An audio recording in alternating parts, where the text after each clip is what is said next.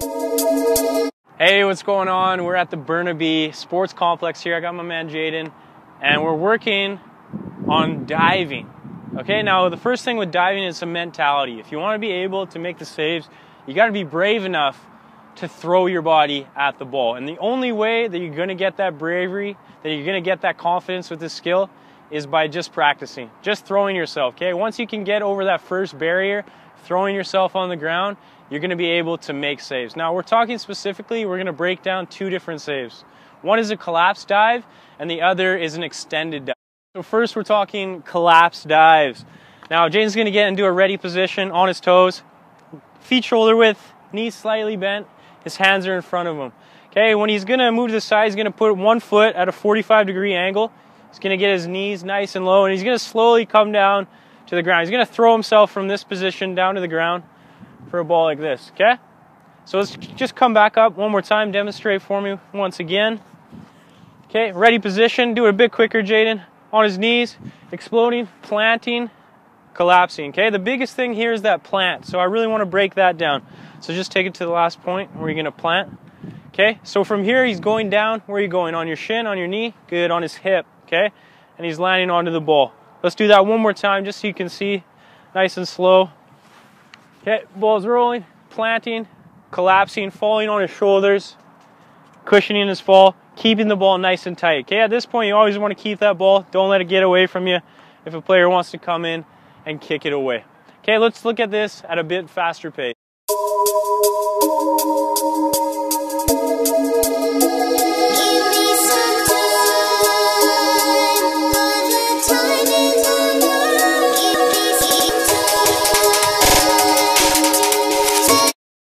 A few more important tips on the collapse dive.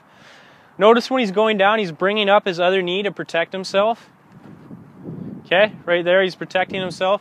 When he does have the ball here, he's almost using the ground as a third hand to keep the ball in his grasp. Okay, if he's not pushing down with force, I can come in and I can get rid of that ball. But he's pushing down on the ball, on the ground, making sure that he keeps it in his control.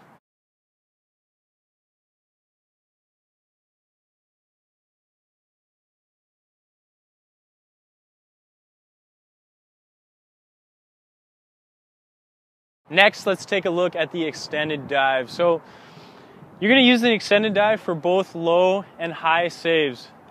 Basically, when it's on the ground, you're doing pretty much a collapse dive. You're just pushing off with a little more explosive power. So I wanna break that down. Jaden's gonna demonstrate.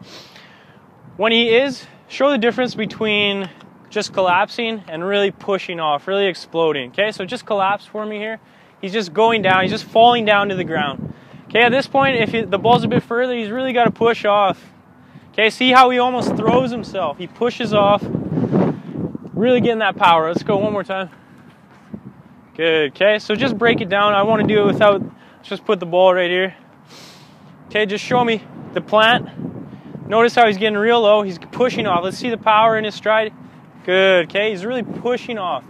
Really got to explode, get nice and low, and then push off. So you can use this dive for something on the ground. If it's on the ground, you're going to use your bottom hand. If it's in the air, you're going to try to use your top hand.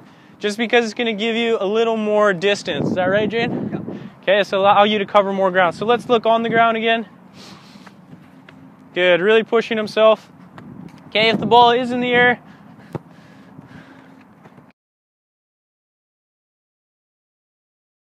knee when he's diving. Okay, he's really going to try to tuck this one because it's going to give him more momentum. If he's just jumping with his legs down on the ground, it's tough for him to get height. So he's really jumping where he's bringing everything up.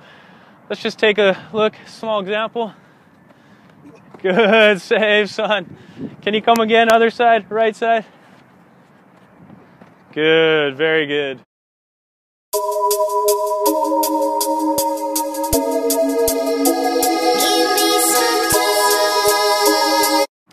We definitely should address basic saves. I mean, what do you do when the ball comes right at you? Okay, so we're going to talk about three different variations. One's on the ground, one is about waist height, and the other one is right here. So the first one, when the ball's on the ground, okay, show, show me, show everyone at home what you should not do when the ball comes to you. You don't want to just reach down like this because you don't have a second barrier behind the ball. Okay. So when he goes down, when the ball's coming to him, you don't want to just bend down. You want to get your whole body behind the ball. So as you see, if it's a nice, easy shot, there's not too much pace on it.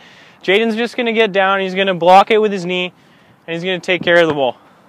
Good. Really make sure he gets his whole body behind it. So for if whatever reason he doesn't catch it with his hands, the rest of his body's still behind it, and he can control the ball. Okay, so if the ball's coming with a bit more pace, Jaden's going to go down on his knees first. Is that right? Um, yeah, somewhat like Okay, he's going to go down on his knees first, and then he's going to collapse on the ball.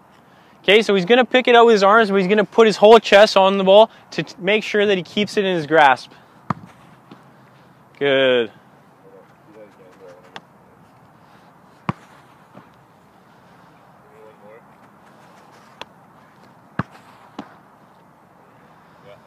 Okay, good. All right, keep going. So next, if the ball comes at waist height, he's going to do what we're calling a basket catch. Let's just demonstrate. Pretty straightforward. Okay, that one might be a bit high. But again, he's trying to get his whole body behind the ball. Is that too high for you? Uh, yeah. Bit lower? Waist height, waist height. There you go. Okay, so he's really bending over, kind of like his dive. He's getting his chest on top of the ball. He's really cushioning it in here. Okay, cradling the ball in there.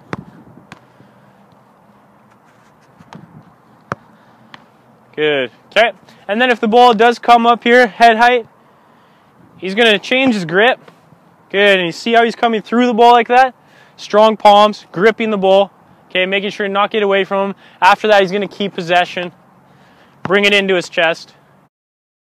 So obviously, if you want to be a great keeper, you got to get the number of saves up. It's all about repetitions. So if you want to master these skills, collapse dive, extended dive, you got to get your shots in, okay? He wasn't able to do this the first day. You're not going to be able to as well.